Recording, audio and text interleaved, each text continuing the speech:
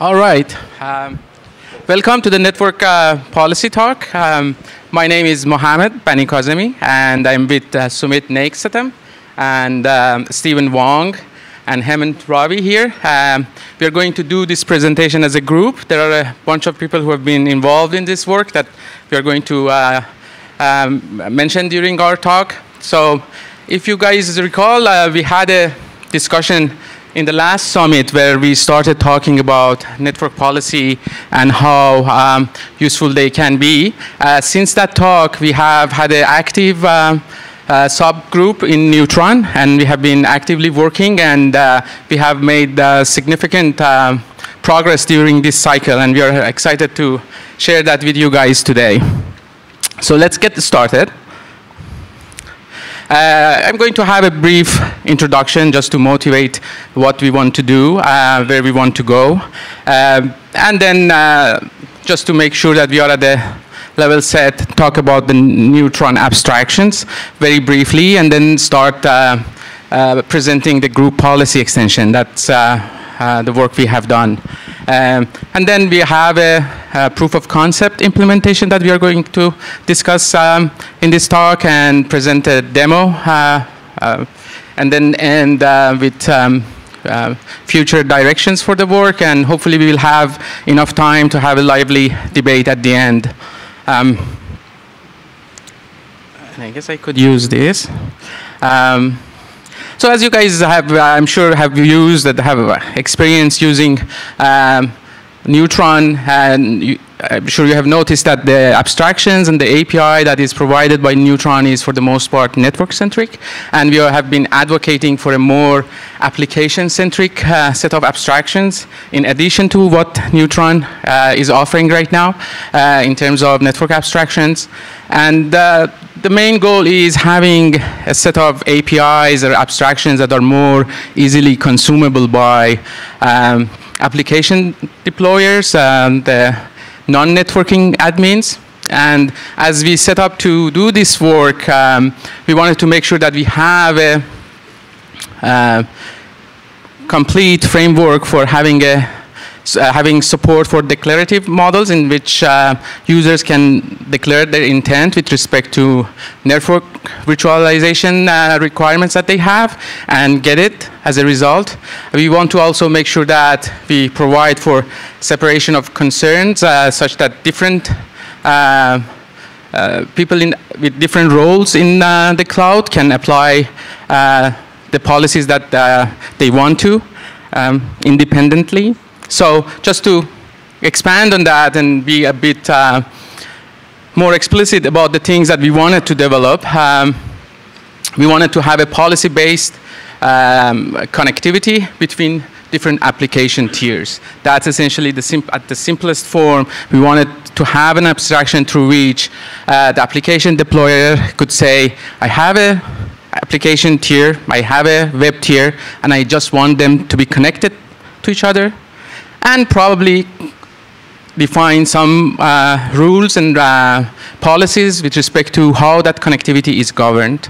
Um, in addition, we wanted to uh, be able to declare, uh, define, and deploy these policies once and get them dynamically applied whenever uh, applicable.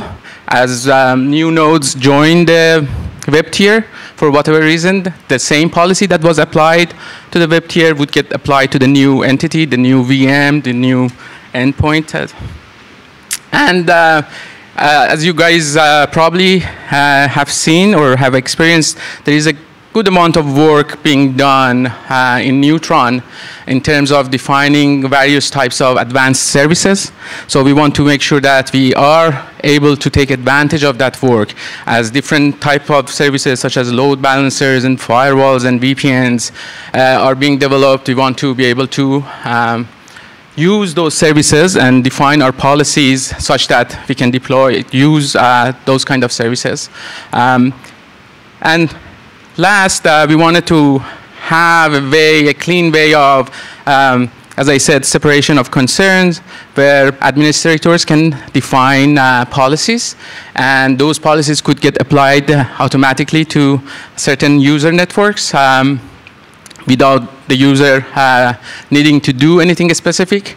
Um, similarly, we wanted the user to be able to pick and choose uh, policies that are being provided by other um, uh, users in the system, uh, administrators or application deployers. So these are the kind of things we wanted to do. And in order to get there, we thought this group policy extension uh, is a very good model uh, for getting us there.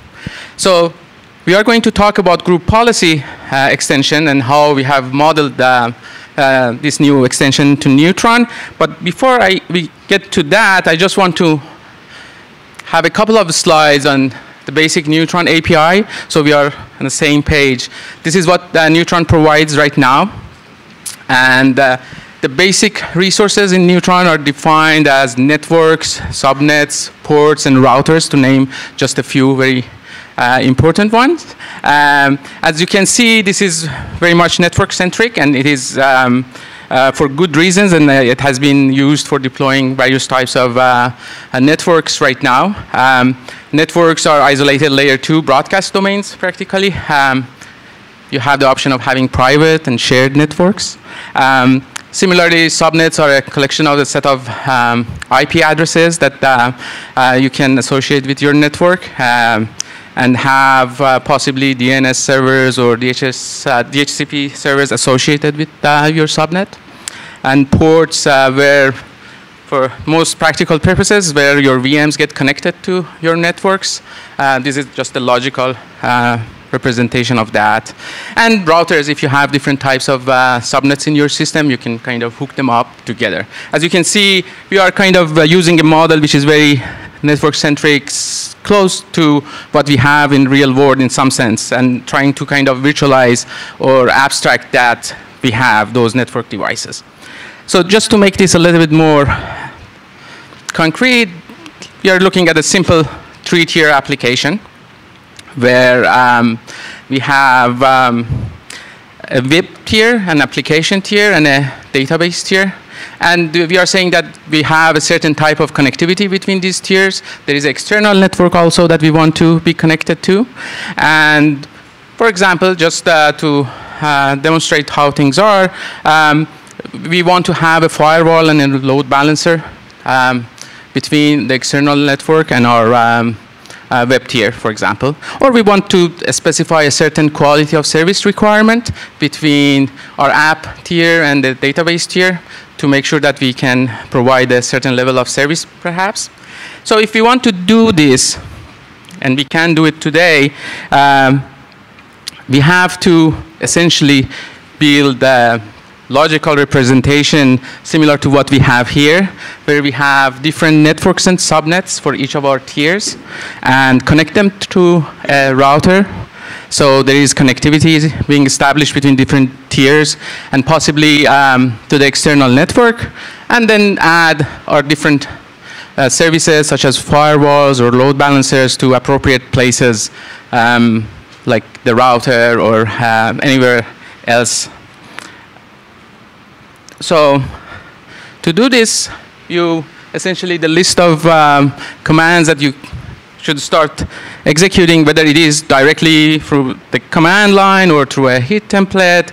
Uh, at the end of the day, you have to create a network, um, create a subnet, um, and assign a, possibly a set of uh, a range of IP addresses to it and then connect your uh, and create a router uh, for connecting your different subnets and uh, hook up your uh, subnets to this router.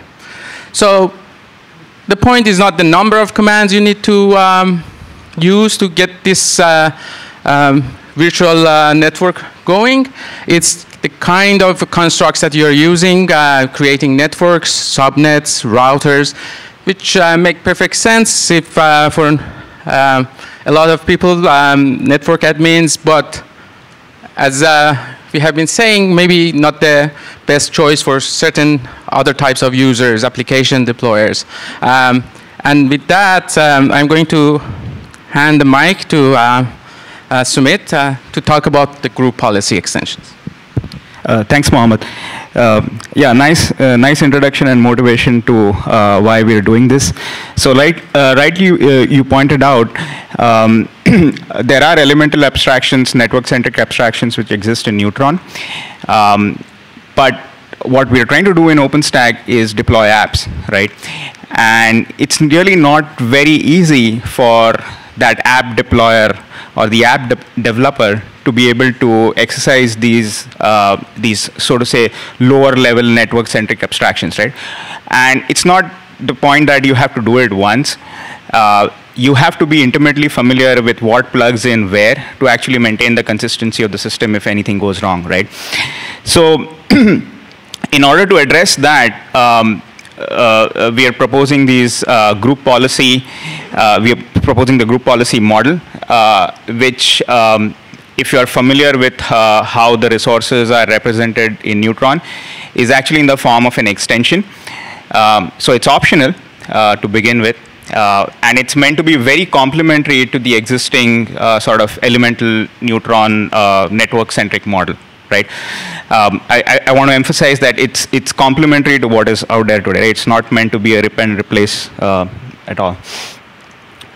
So that said, right, uh, the basic idea can essentially be uh, boiled down to this slide, uh, which is uh, from an app deployer's perspective, right, um, you have your app deployed on your uh, VMs or bare metal hosts, right? You know how to stand up that app, and you think of uh, uh, that app or, or, or the entities which host that app as your endpoints.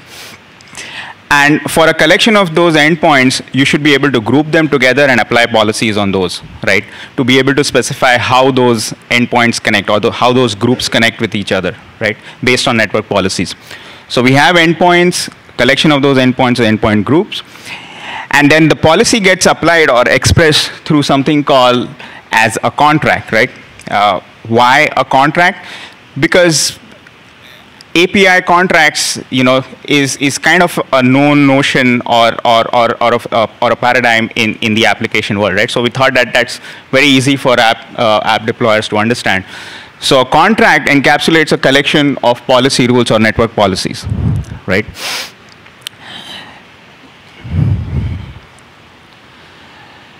So, so just to reiterate, um, the whole model is obviously app deployer focused. You have endpoint groups and you have contracts, right? And what do you do with those? An endpoint group may say that I'm providing a particular contract by which, you know, if, if, if you're an endpoint group which embodies uh, a web server, you would, you, would, you would say that I essentially provide a web server contract, right? And then on the client side, the, the, the, the set of entities which comprise the client would say, I consume this web contract, right? Note that uh, there is a there is an element of dynamic binding here. The notion of a contract is is more like a template which captures the network policies, which can be reused. There might be one or more end, endpoint groups which actually provide that service, right? And it's left to the implementation as to how to match a particular contract to a candidate uh, endpoint group provider, right? So you as a user do not have to manage that as to which endpoint you're consuming, right?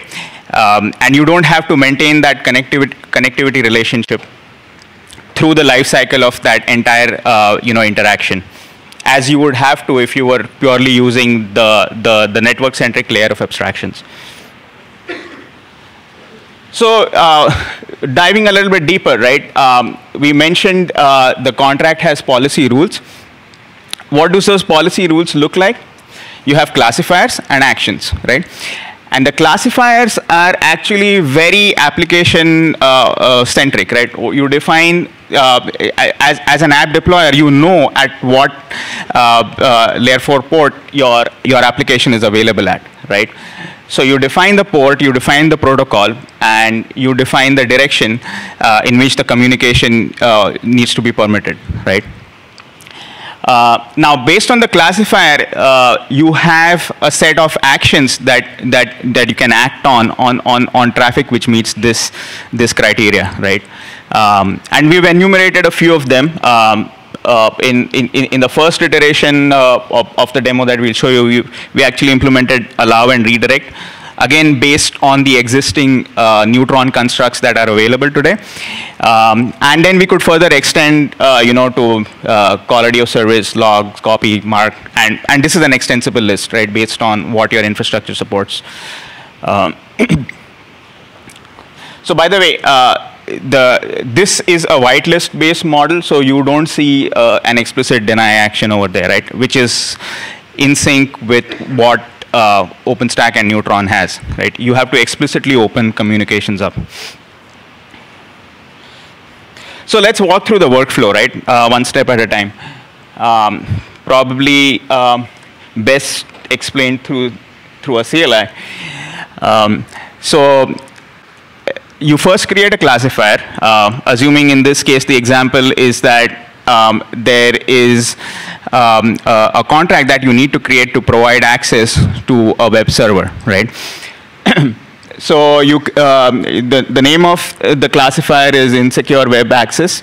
Uh, you're trying to open up port 80 uh, using TCP. The next thing that you do is you wrap that classifier into a policy rule and say that the action is allow for this particular uh, traffic. The third thing that you do is you create a contract out of this, right? And this is a very simplified example where we have just one policy rule in here, but you could have multiple of these, right? So this is a contract for allowing access to, uh, allowing connectivity to a web server, right? And now you, you create your, uh, you create and populate your endpoints and endpoint groups to actually access the web server, which will be uh, providing this contract, right? So you first create an endpoint group for a web server, and you say that that provides this web server contract which was created earlier. And then you stand, and, and then then you stand up your application inside that uh, inside that EPG web server EPG. Uh, so you explicitly create the endpoints in that, and then you have the consumer EPG, uh, which you define as the outside EPG, you allow connectivity to your web server from the outside world, right? So you say consumes contract, web server contract. So that's it. That's all you need to to signal as an intent from from an app deployer's perspective to be able to allow this entire communication to happen, right? Uh, everything else is sort of handled um, under, under the hood um, in a way that the system has a way to keep itself consistent, right? Something goes wrong, there might be multiple EPGs which are providing the same web server contract, so you could fail over potentially, but you as an app deployer do not have to manage that. So uh, trying to map to the earlier, uh, you know, use case that Mohammad had brought up, uh, this is the same uh, three-tier, uh, you know, well-known use case, um, and how that would look in terms of the the constructs that that that we just talked about, right? Uh, so at each of the layers, you see that there are contracts C1, C2, C3, and this is kind of an oversimplified example, but you will see that um, for access from the outside world to the web server tier, um, we are we are opening up port 80, but then the action is to redirect through a firewall and a load balancer chain, right? Before it eventually hits the web server tier. So the claim is that's all that you need to do in terms of having to express intent, right, for the connectivity that you want to achieve and so on for you know uh, the access to the, uh, between the the web tier and the app tier, the access between the app tier and the DB tier, right?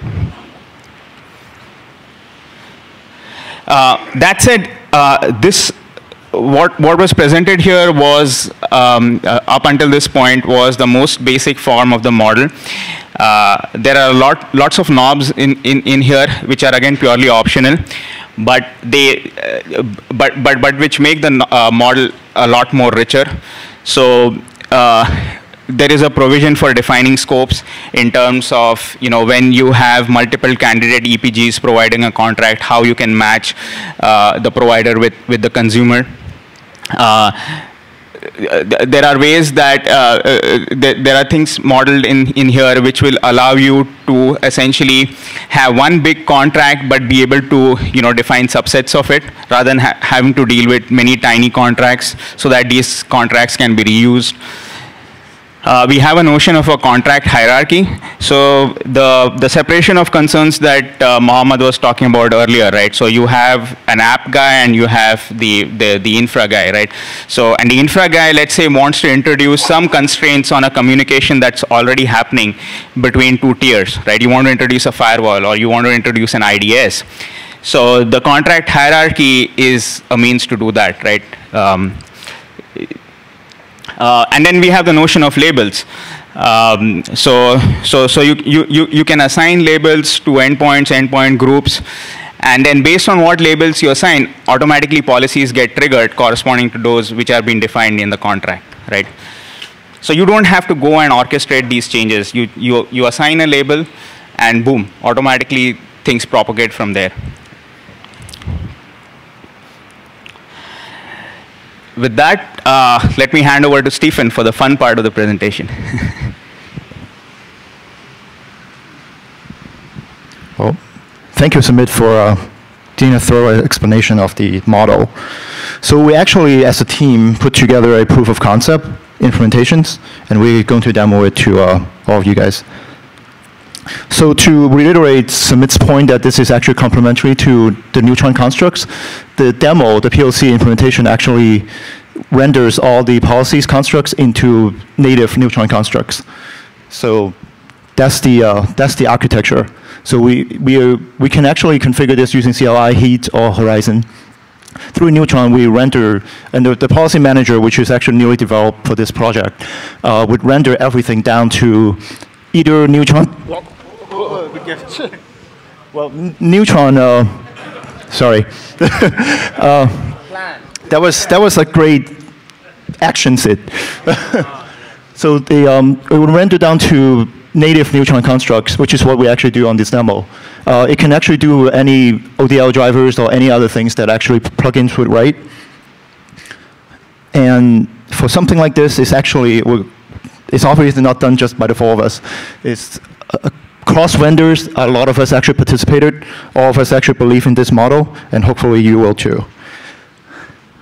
Uh, the where? Not the heat one. So actually explaining the demo a little bit. Um, as Sumit just said, actually, so you as an app owner wants to deploy an app that would that is actually two tiers, uh, web tier and, and as well as the client. So it's an external, basically. Um, so, so when the app people created all the constructs to enforce that policies down to um, the network, uh, you would now see that the VM goes on to a client, a simulator client on the side, and, and the web VM sitting on the other endpoint groups.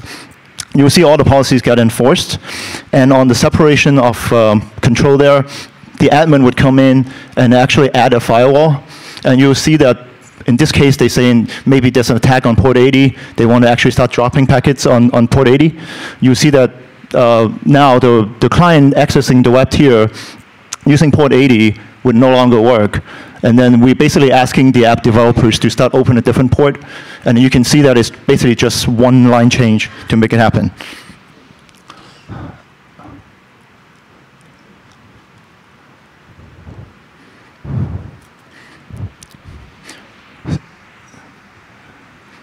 So actually, this is an explanation of what I just said. So the, the, the, the little browser is just moving around.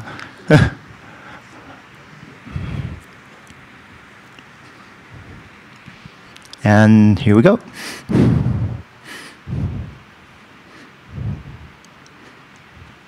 So the first thing to do is, as Sumit actually showed earlier too, is to create your classifiers.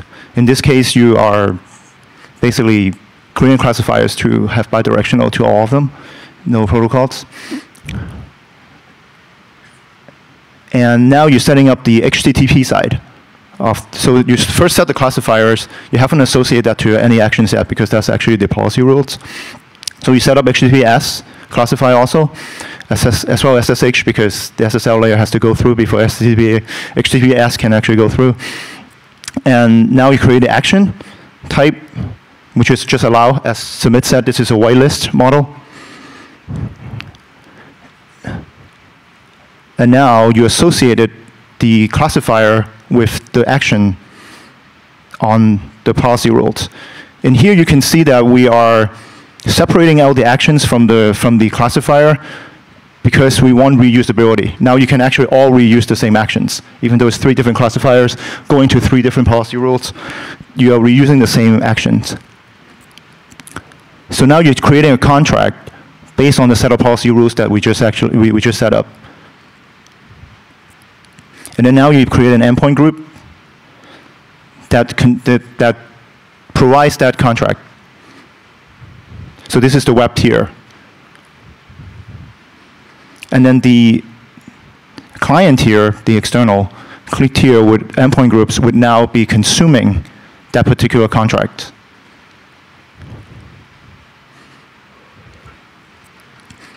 And then now you create an endpoint. You can see that now we're booting an image to be the web server. And then we are creating client endpoints and associate that with the next boot, the Nova boot of the client VM. So they're on two different endpoint groups. And the contract, so this is this is actually the admin uh, contract that we talked about. So now you're creating an, a, a firewall policies which the admin would, would, uh, would create on that example, saying that right now we have an attack on port 80, the, the admin now wants to create a firewall that sits there and deny everything on port 80. So the admin's firewalls are created, and then we create redirect actions that would actually redirect anything that matches the classifiers to now reroute it to the firewall. And he created policy rules as, as before. This is by admin. And now we create a policy rules that the admin actually wants to put to associate a classifier with the action. And well, for all, all three different protocol types. And now you created a contract, you, you updated a contract. As you can see from Horizon, after typing in the admin password, that all your access on your on your demo, which is your client uh, or your um, your tenant in this case, now have the group policies set up, contracts are all well set up, and this is a display of what we just set up actually on the classifiers and actions.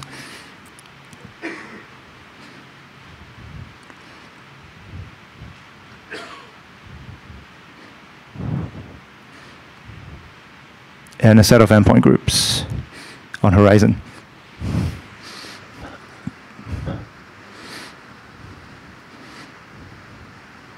And you can see the topology. So on render down to neutron networks, you see that we actually created separate networks. Uh, the, the endpoint groups associated associated with the um, associated with the subnet, and we can we can actually even see the, the firewall being set up. Actually, I, I didn't pause the, at the diagram. Sorry about that.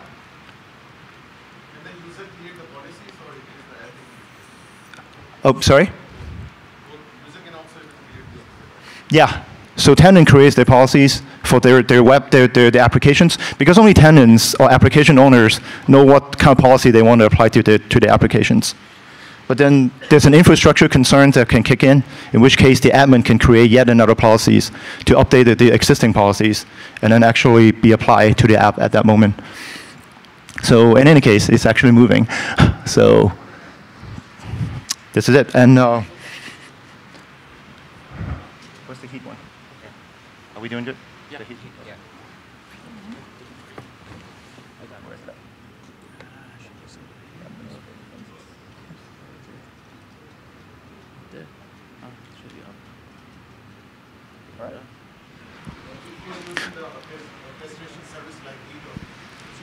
That is, that is a very good question. So uh, we actually make it work at Heat already, and uh, is actually going to present to us. Uh, in Heat, it's actually much nicer looking, of course.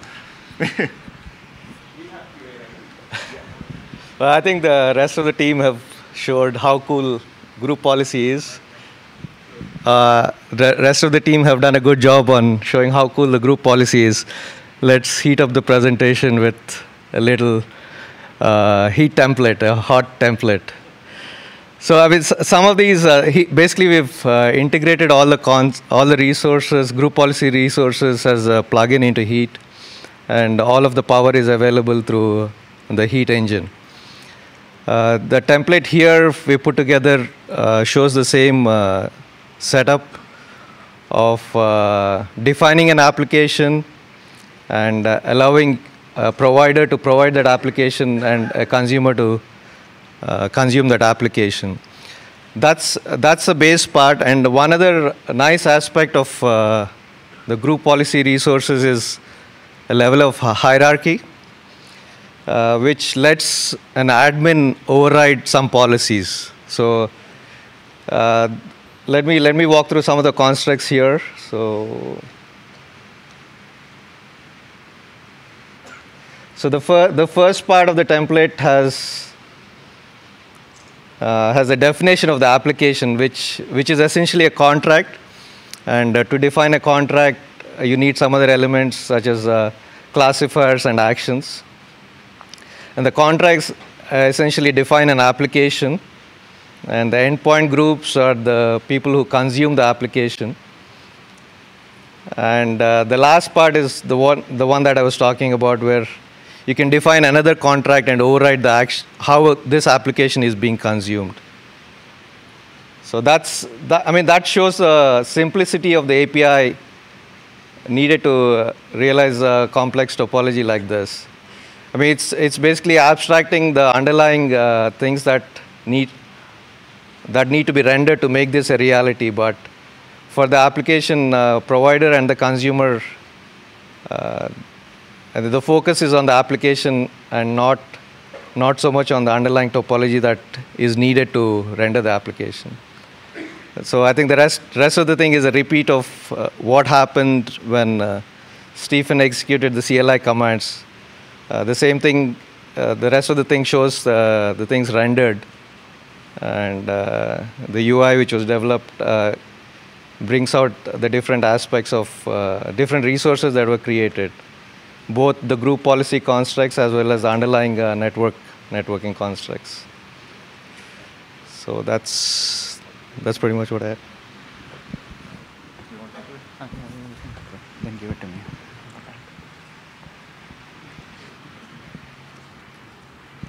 So, uh, so yeah, you can, as you can see, the topology is pretty much the same using a Heat template. And for now,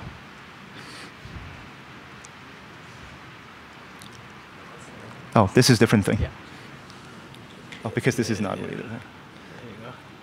So you all know my son now.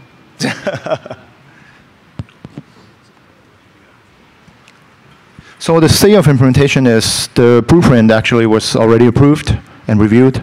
Uh, obviously, the POC is working. And then the POC branch, you can actually access it from there. It's open. Everyone's welcome to look at the code if you're a hacker. Um, the representation is still going in progress. Uh, there, there obviously some complementary network service framework needs to be in place to actually do the, uh, a much better job on the implementation. But it's actually pretty much almost there. Um, for anyone who wants to actually know more, tomorrow we actually have a design session at 10.50 in pretty much the same Neutron room. Uh, the wiki page is on this URL, and um, we welcome everyone to join our IRC meeting every week which is uh, on Thursday, US time. so um, we can now open up for Q&A.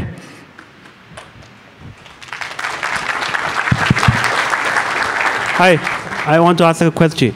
So instead of uh, for user to create network subnet and firewall and etc., uh, if user use GBP uh, directly, then GBP will internally create network subnet and firewall for user without user knowing of all the items, right?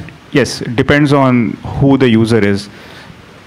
Okay, so, So- if if user just use uh, uh, GBP command line or Yeah. from the GUI, so internally uh, GBP will create a network Yes. firewall and subnet for for user. The user do not care about uh, the Exactly. Okay. The, yeah, the resource atomicity is at the group policy model level. The fact that it orchestrates and creates uh, underlying uh, network resources is, is what we're trying to abstract the user away from. And that's, that's the app deployer. Okay, but if users still want to know the details, they can check Yes. it out. Okay, using Exactly. just using CLI or uh, GUI, Yes. right? Okay, okay. Standard API remains. So that would be create port, create network. They're all there. Okay. So these are just an extension to that API. Yeah. So, so what we showed in this, uh, and maybe you can bring up the slide again. Uh, uh, so, the group policy model is independent in itself, right? But in the context of the current Neutron, uh, uh, you know, uh, network-centric abstractions, we have a mapping to those abstractions as is shown over here, right?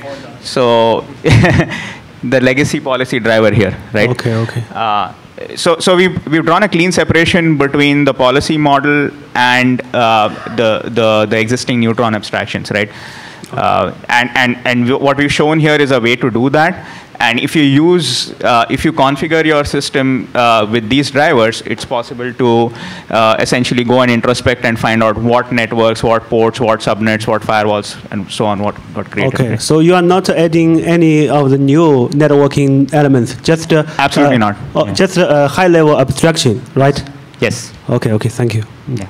But that's one way of, uh, of providing the mapping. Yeah, I have a question. You have the uh, ODL driver down there. Is that intended to map exactly to the ODL uh, group policy uh, framework?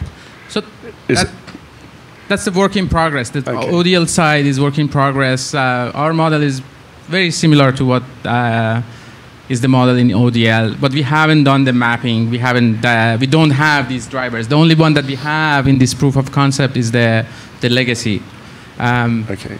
So the, the ODL uh, model is somewhat different from the, uh, uh, the, the model that you have. Right, Yeah. right. So is the intention t- to align it with the uh, ODL or? Okay. The ODL model is actually very similar. I'm, I'm driving that effort. So, rule-based policy of ODL. Yeah, the, the group-based policy model, right, yep. Yeah. right. So it, it is very similar. It is similar. It can be easily rendered into Open Daylight policy model, policy drivers. You have four minutes to go, guys. Go. So when you generate the uh, routers, how do you pick the subnets and the external gateway addresses? So there are things that happens as a configuration can be set by the administrator, the pool of IP addresses that you have available, and things like that. It happens orthogonal to what you do in terms of standing up those networks. So those things are part of just the you know neutron configuration, or Yeah. do you do you intend to provide anything from your constructs? So that's what you have. Yeah, go ahead, Bob. Well, just um, for example, with uh, subnet uh, IP allocation and so forth, there's um, part of the policy model that you didn't really see here is called a, um, a routing domain that has kind of a, a supernet that's then divided up into subnets. So you, there's configuration that if that gets created implicitly, if you don't, you know, if you don't do it yourself, um, configuration is where the, the ranges of IPs to use for that will come from. Um, but uh, you can create it programmatically through the API as well and, and use whatever you want. Yeah, uh, uh, I'm Keshav. I don't know whether this question is uh, I mean right or not. So uh, these uh, the endpoints and associated apps can be on different node and can it be across different VLAN also? The, the, the, the, the connectivity, right, whether it's VLANs, VXLANs, or whether there is multi-segment, is, is an implementation or a mapping detail. I mean, right? I mean, is there any? Uh, I mean, in, in this one, is there any? The if, if apps are associated in different node or in different VLAN, the framework tries to take care of, I mean, creating those kind of networks and try to link them. The policy model is agnostic of that. Right? In a, there are there are defined semantics for connectivity inside an endpoint group. Right? Okay. Things inside an endpoint group have connectivity. So Going I- from inside the endpoint group to the outside, you do not have. And then for that's that's where you define the connectivity through the model. So ide- ideally, you only tell us what the behavior is supposed to be, and then the network, we will, will- the, the Neutron legacy o- Open Daylight is going to set it up for you. So, so if, if it's across VLAN, it turns out to be segregation by VLAN, the network driver should take care of that. all apps are still under the same endpoint. I, I, think, I think we, we've been asked to. Running out of time. Our audio will be cut off. So, one more? Yeah, yeah, yeah. Can you specify the tenant ID in the classifier? Yes. Yes, yes, yes. We have all the information on the wiki. Yeah. Uh, links to the demo, links to our weekly meeting. If you have concern, bring it to the meetings every week. Yeah, and we, we can ob- obviously get outside and have, have a discussion. The wiki page Thank you. is, That's okay. it's being destroyed, but uh,